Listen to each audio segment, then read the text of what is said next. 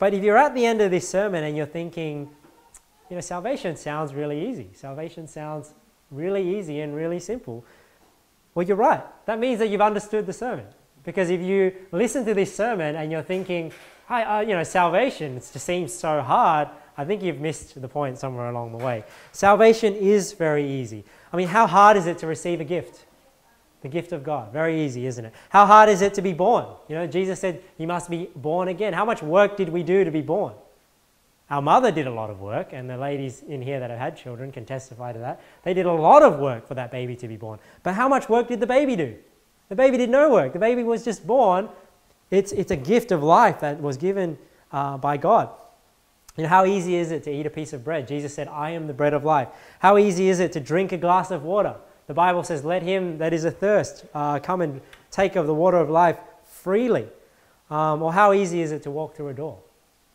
You know, Jesus said, I am the door. He that entereth in by me shall be saved. So salvation is easy. You know, salvation is very easy. And why is salvation so easy? Because Jesus did the hard part. Jesus paid it all. Jesus did the hard part. That's why it's so easy.